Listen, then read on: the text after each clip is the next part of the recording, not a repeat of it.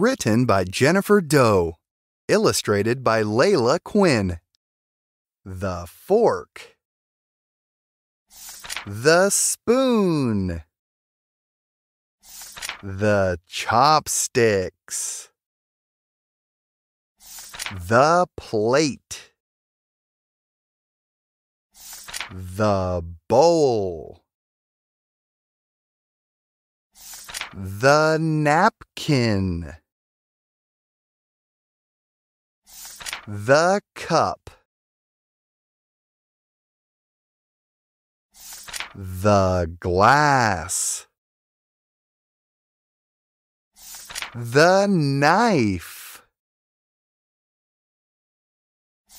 The tablecloth.